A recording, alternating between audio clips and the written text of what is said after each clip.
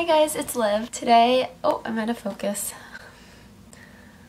There we go. Today I'm doing a video that's um, a request from someone who commented on my Instagram. I'll put her name down here. And basically, she just wanted me to do a video on how to make the same foods interesting, like when you basically eat the same foods every day, or like you're kind of forced to eat the same foods every day because that's what you can afford or that's what's available where you live or whatever. I probably am one of the best people to ask about this because I actually eat the same stuff all the time. Partly it's just due to like what we have available here in Canada, but partly it's due to the fact that I have some dietary restrictions because I have a lot of like digestive problems and I just have very irritable bowel so I tend to stick to the same foods. But as you can see from my Instagram that does not mean that I eat the same meal every time and it doesn't mean at all that the food can has to be boring and like bland and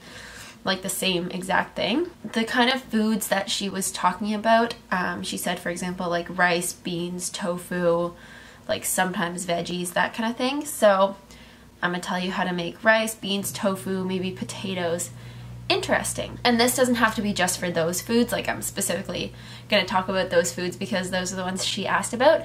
And if you want me to specifically talk about something that you want to know, then you have to ask me a question as well. So my first tip is to get good at sauces. Um, if you've been following me at all for any length of time, you will definitely know that I am like the biggest sauce person. That's how I keep things interesting in my cooking. So when I say get good at sauces, like find some recipes for sauces that you can make that are easy, that are fast, that are simple, that don't require a lot of ingredients, but that make your food taste really good and also can make it taste really different depending on what sauce you use. For example, I eat stir fry pretty much all the time but I don't have the same sauce every time. Like sometimes I'll just do a simple soy sauce maple syrup lime juice and then other times I'll do like a almond butter orange juice miso soy sauce kind of combination. Also with pasta, like I, I eat pasta a lot, but I don't have the same pasta sauce all the time. So like the other day I made a bolognese.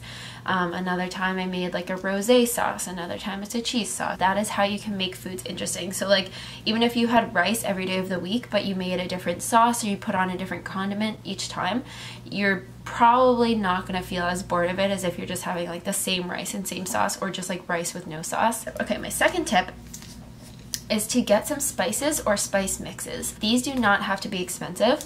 If you just get dry spices and learn how to use them properly and learn how to use them in combination with each other, and then also get some spice mixes. So for example, like curry powder is a spice mix. It has like turmeric, ginger, all those like already in it. So you just need to use that one powder. You don't have to mix the spices yourself. If you can cook with different spices. It's kind of like the sauce thing. It's just going to make things taste different. So obviously these tips have a little bit of experimenting in the kitchen and maybe learning how to cook if you don't know how to cook, but it's going to help you in the long run. Like if you have to eat the same or very similar foods all the time, getting familiar with spices and different combinations of spices can completely change your meals. Okay, my tip number three is to change their form.